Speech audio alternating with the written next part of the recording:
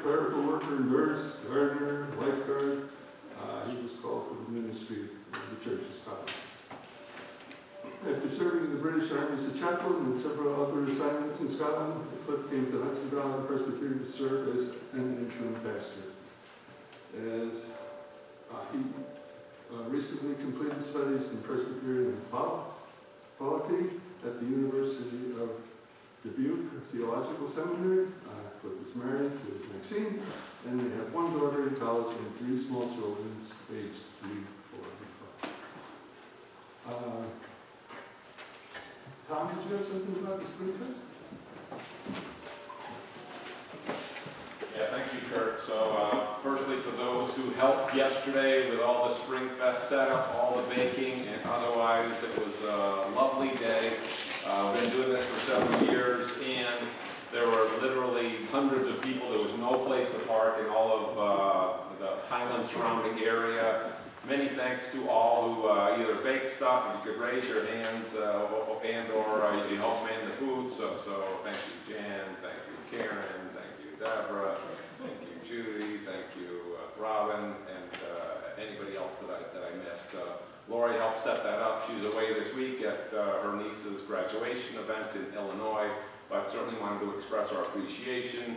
We uh, um, obtained about uh, $250 uh, through the contributions and also um, had like a little donation booth for folks who wanted to help with some of the renovations that we have in mind. Um, There are some remaining items, so afterwards, uh, if you want to either um, donate and/or take anything that you need, uh, you- you'll find that there, and, but not to uh, interfere with the lovely spread that Sue Di Lorenzo has paid there as well. So those are your take-home items, but enjoy what Sue has prepared beforehand. And, and also just to echo, welcome Cliff, and, and thank you for being here and, and uh, having your family here as well. Thank you. Thank you. Oh, this one, the, uh, we're, we're looking to have drainings for the church. The last day to uh, order any is the 29th of this month.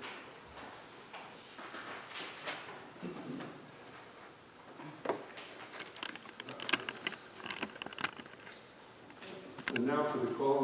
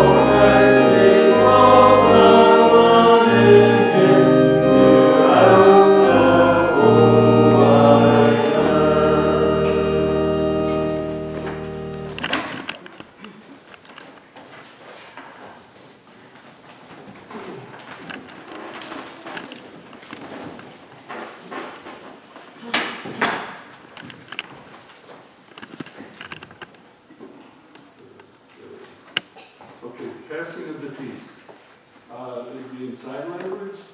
We're going to do the peace of Christ.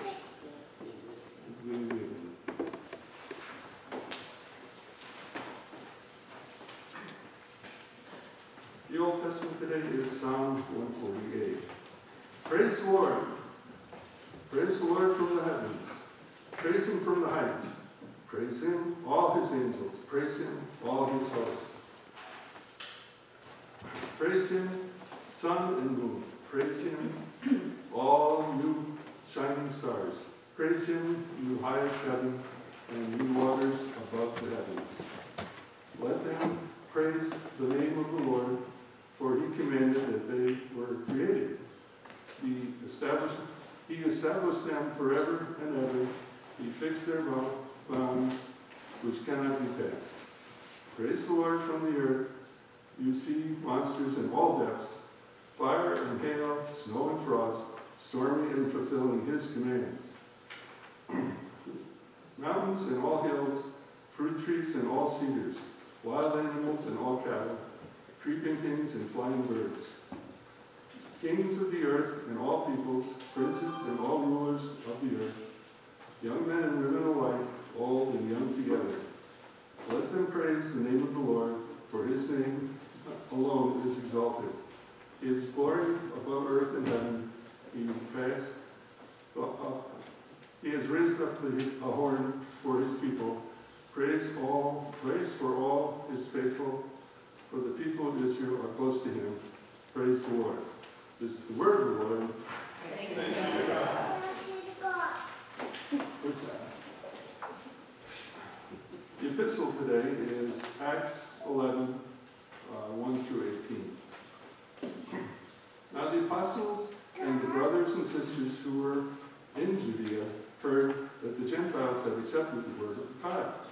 And when Peter went up to Jerusalem, the circumcised believers criticized him, saying, Why did you go to uncircumcised men and feed them? Eat with them.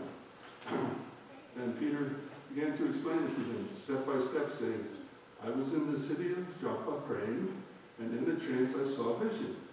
There was something like a huge sheet coming down from heaven, being lowered by its four corners, and it came close to me. As I looked at it closely, I saw four-footed animals, beasts of prey, reptiles, and birds of the air. But I also heard a voice saying to me, Get up, Peter, kill and eat. But I replied, By no means, Lord, for nothing profane or unclean has ever entered my mouth. but the second time the voice answered from heaven, What God has made clean, you shall not call profane. This happened three times. Then everything was pulled up again to heaven. At that very moment, three men came to me from Caesarea, arrived at the house where we were. The Spirit told me to go with them and not to make distinctions between them and us. These six brothers who accompanied me, and we entered the man's house.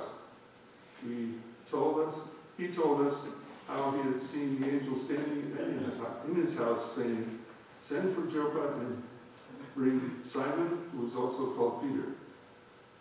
Will give, he will give you a message by which you and your entire household will be saved. When he began to speak, the Holy Spirit fell upon them as it had upon us at the beginning. And I remembered the word of the Lord, how he had said, John baptized with water, but you will be baptized with the Holy Spirit. If then God gave the great gift that he gave us when we achieved, we believe in the Lord Jesus Christ, and who, who, who was I that I should hinder God? And who was I that I should hinder God? when he heard this, they were silenced. And they then praised God, saying, they, Then God has given that even to the Gentiles, the repentance that leads to life. This also is the word of the Lord.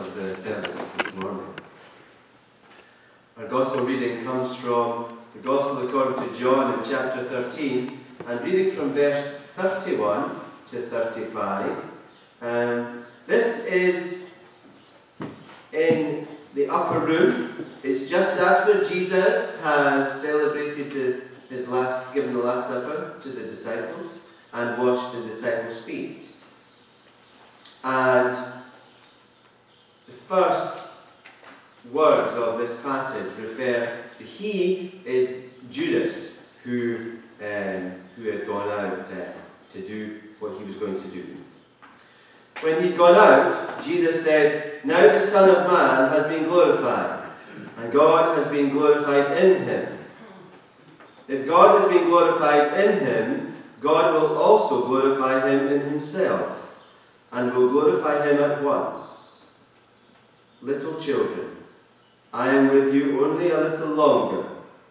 You will look for me, and as I said to the Jews, so now I say to you, where I am going, you cannot come. I give you a new commandment, that you love one another, just as I have loved you.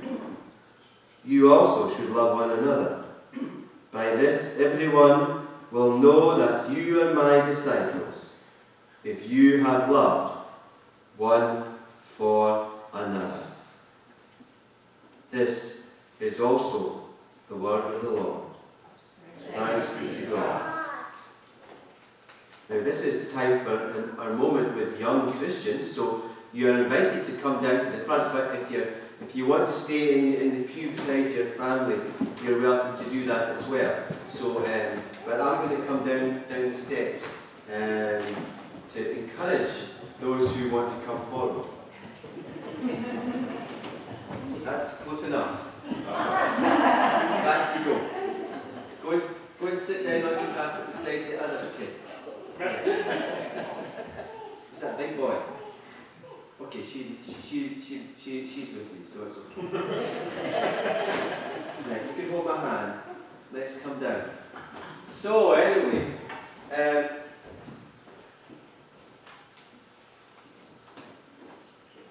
today we're learning about loving one another just as Jesus loved us. When I was a young man, about 18 years old, and I'll tell the congregation more about this later, I went to a church where there was lots of young people, and I learned a new song. I'd never heard it before, but I learned a new song in this church, and and it was it was one that's in your hymn and it goes, "A new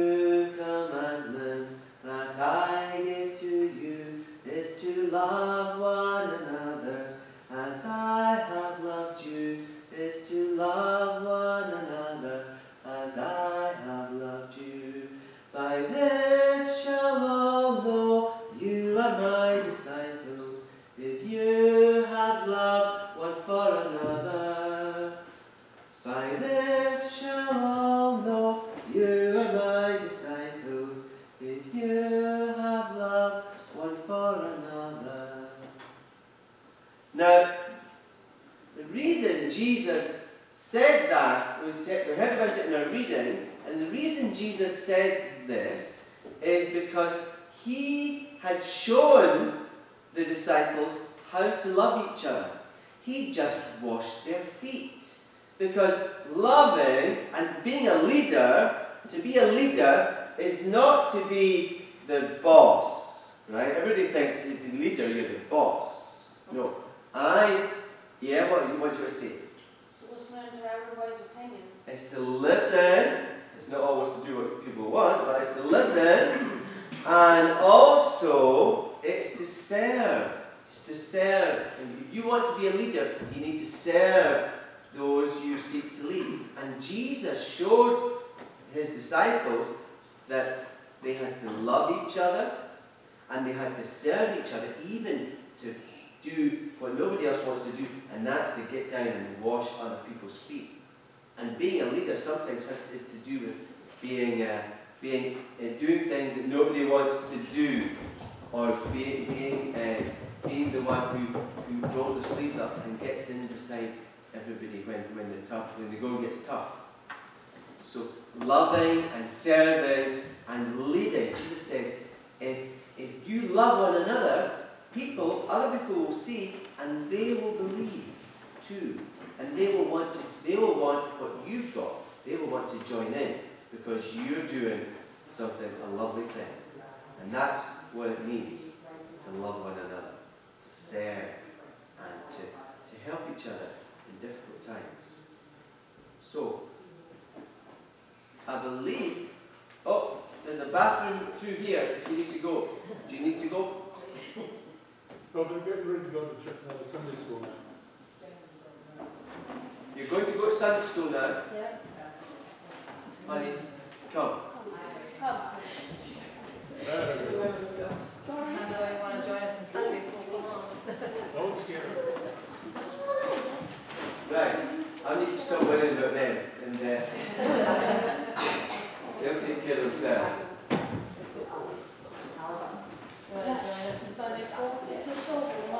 Y'all go to Sunday school now. Mummy will take you. There's a there's a there's a restroom through there.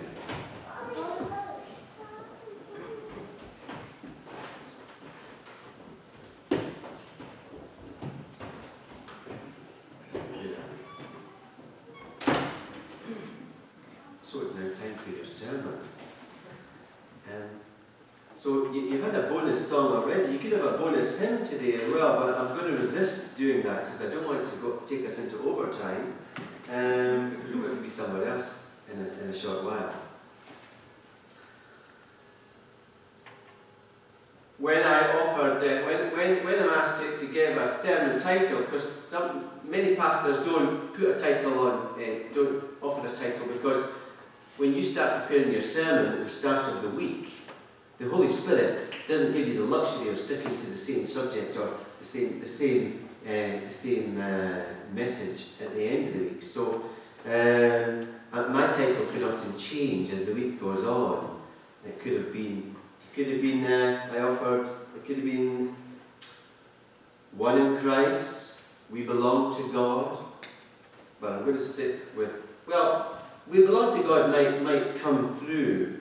Um, but a new commandment is where we're starting from, where we've, what we've just heard. So let's begin with a new commandment. Jesus gave his disciples a new commandment, which sounds a lot like the great commandment to love God and love your neighbour as yourself. But Jesus was, when Jesus gave the great commandment, he was quoting, he was really expanding the law of Moses. He was, he was re, re, uh, reiterating what the law of Moses really, really says.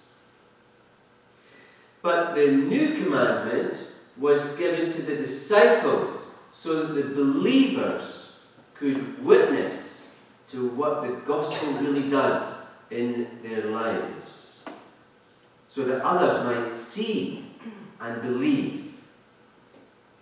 After uh, thanks, Kurt, for, for the brief uh, introduction.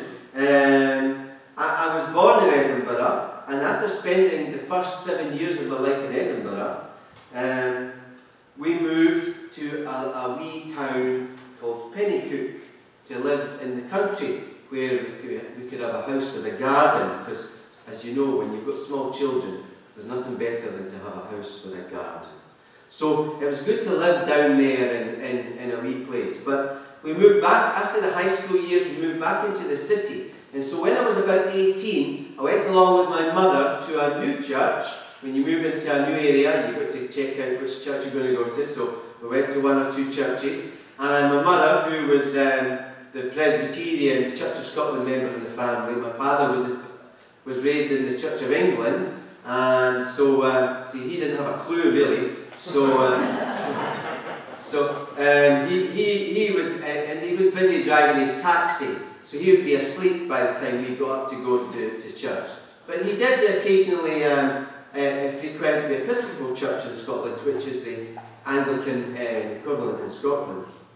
So we would go along to the Church of Scotland and we went to this new church and it, Edinburgh being a university city has uh, big churches full of young people and professors and lawyers and sort of like sort of like all the the, the kind of like the high flyers in society, what we would call in Scotland the high legions, right?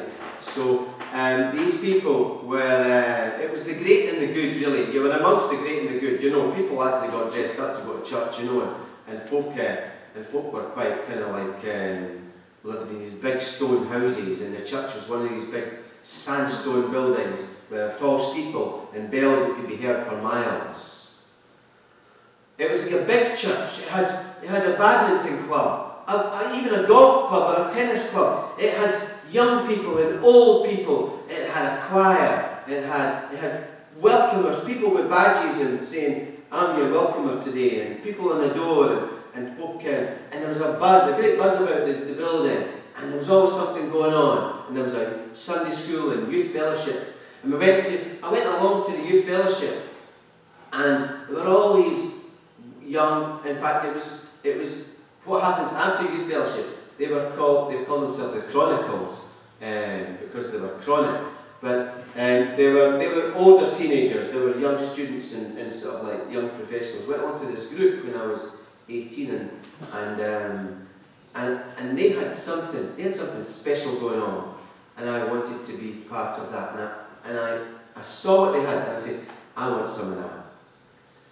Because they loved each other with us with a love with the love that Jesus loved, with acceptance and with a, with a kind of serving and a, and a brotherly love that was I'd never experienced before.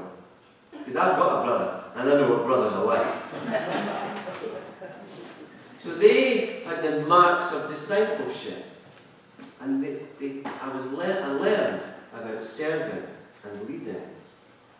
On Sunday evenings after the service, I went along to the youth fellowship and we would sing a new commandment that I give to you to love one another. And we had all these choruses. I'd never, I'd never heard them. It was almost like there'd been a conspiracy of silence in, in the church that we'd gone to before. They didn't tell you they, they told you about Jesus, but they didn't tell you about the gospel. About the same time, I also started going to the new communicants class to learn about joining the church.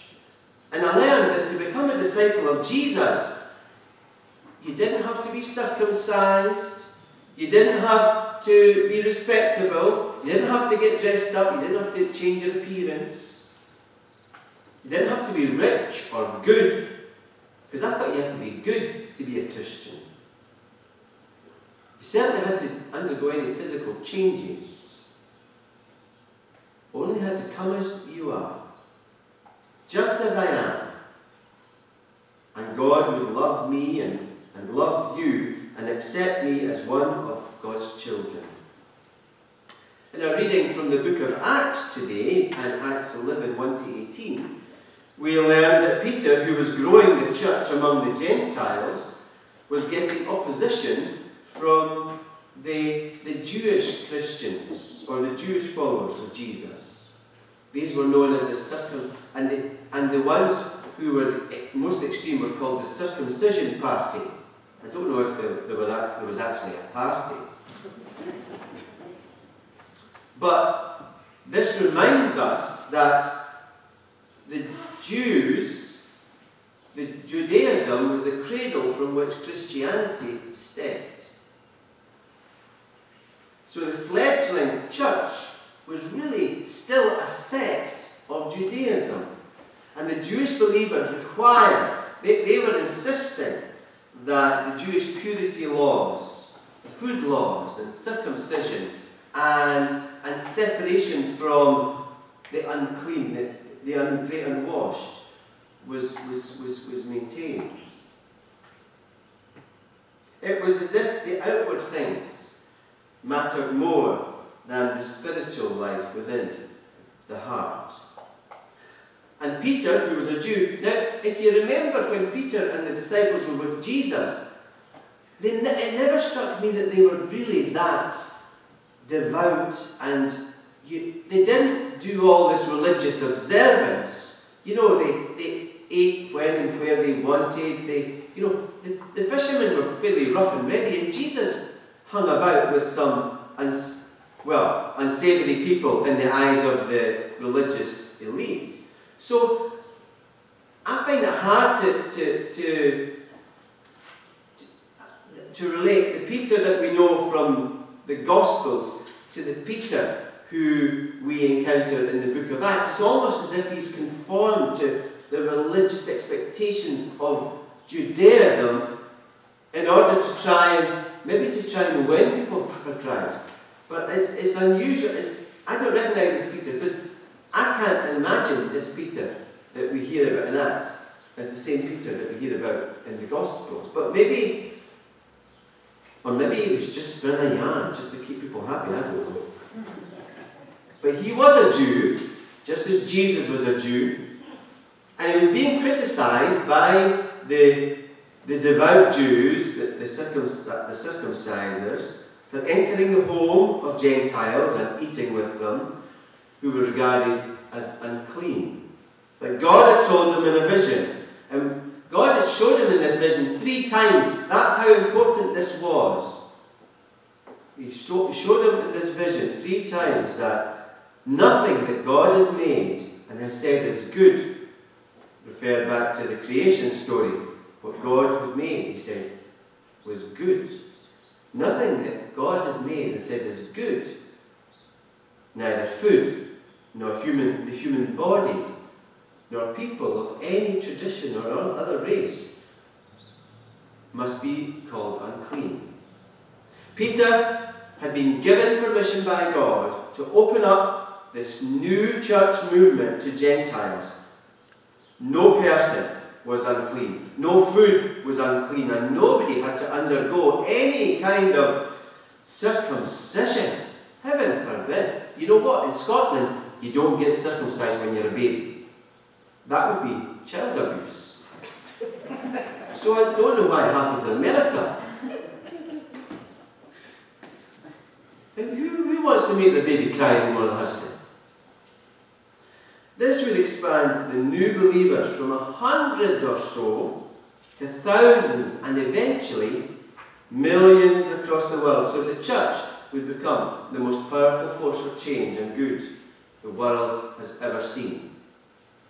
When once we had to undergo strict entry requirements, including the physical act of circumcision, now all we have to do is to believe and love the Lord and love each other, and through our baptism, in which we are buried with Christ and raised with Him through faith.